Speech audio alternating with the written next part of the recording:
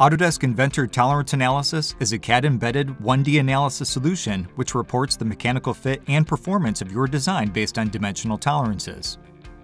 It is integrated in Autodesk Inventor and is included with your subscription to Product Design and Manufacturing Collection. It provides an in-canvas workflow using the geometric dimensions and tolerances included on your model.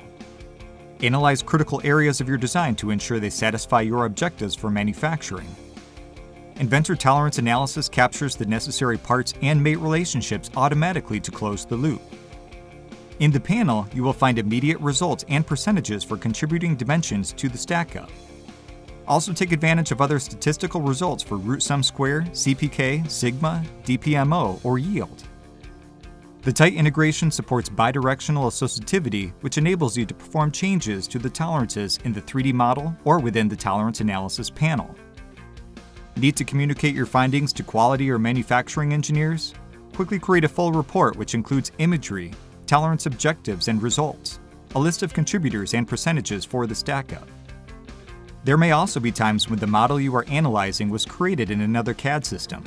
No problem for inventor tolerance analysis. With AnyCAD technology, the geometry remains in sync with model changes that could potentially impact results. No mates, dimensions, or tolerances? No problem.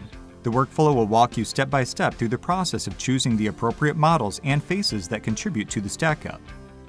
Dimensions and default tolerances will be added as needed to complete the analysis. Autodesk Inventor Tolerance Analysis is an integrated solution that is purpose-built to help your company save on costs with reduced waste and minimize warranty issues. Reduce physical prototypes by identifying problems early during the design process.